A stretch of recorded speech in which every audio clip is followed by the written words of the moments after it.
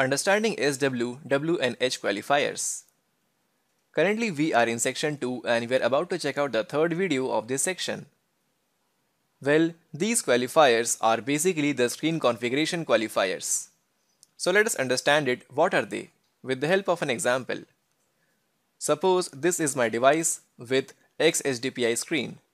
And we all know that the DPI value of XHDPI device is 360 dots per inch and the current resolution of my device is 720 cross 1280 pixel. Let us assume that. So similarly in the landscape mode as well, my device will have the same screen resolution of 720 cross 1280 pixel. Quite simple till now. Now proceeding from the previous section, we know that the scale factor of XHDPI device is 2. So using the scale factor, we can calculate the screen width in terms of dp. So for that you can basically divide 720 by 2 which comes out to be 360 dp. So the width in terms of dp is 360 in case of portrait mode. Now the width of the portrait mode becomes height in case of landscape mode. So in case of landscape mode, we have the height in terms of dp as 360. Nice and simple. Now what about the height in the portrait mode? So again divide this value by 2. We get 640 dp as height in portrait mode. Now the same height in case of landscape mode becomes width. Now the values of SW, W and H lies in these values that we just calculated here. To understand it better, let us define what is SW. Well, SW represent the smallest possible width and height, irrespective of screen orientation. Therefore, in case of portrait mode, among these two values, we have 360 dp as the smallest width. Similarly, in case of landscape mode, among these two values, we have the smallest value as 360 dp as height. So the SW value becomes 360 dp for both portrait and landscape mode. As simple as that. Now what is the W qualifier? Well, W means the minimum available width. So in case of portrait mode, we have the minimum available width as 360 dp.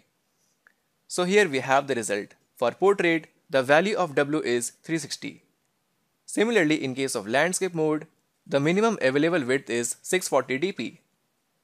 So here we have the W value in case of landscape. Similar to W, we can define H as minimum available height.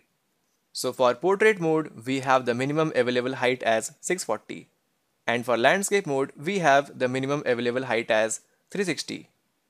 So here are the respective values in the respective orientation. Quite simple, isn't it? Well, you might ask, do I have to remember all of these values for other densities as well? Well, the answer is no. You just have to remember the definition. What is SW, what is W and also what is H. And to create layouts based on these values, we have some generalized pattern for the Android devices. Well, for the handsets, the value of SW is less than 600 dp. Always remember that. The difference comes in case of tablets, such as for the 7-inch tablet, the value of SW starts from 600 dp onwards. Now what about 10 inch tablet? The SW value is 720 dp. Well these two SW values you need to remember that. Don't worry you will get used to it as we proceed through the course. Now what about H and W value for other Android devices? Well, most of the time you will use SW qualifier for designing your layouts. For example, within our application in the previous video, we created layout and layout land folder. So now we just have to create some layout for tablets. So for that we will create a folder of layout-sw600dp. So this folder can be used for both portrait and landscape mode for the tablets. But if you want some layout for the tablets in the landscape mode, so in that case you just have to append one more suffix such as land. So our folder name comes out to be layout-sw600dp land and this folder will only be used for the tablets in the landscape mode. Now remember, these two layouts are applicable for both 7-inch and 10-inch tablet. But in case you want to create separate layouts for 10-inch tablet, So for that you have to create the folder of layout SW 720dp and also layout SW 720dp land. But trust me, most of the time these two folders do a great job for 7 inch as well as 10 inch tablets. So this was all about the theoretical part. In the next video, we will create layouts for tablets using these special qualifiers. So see you there.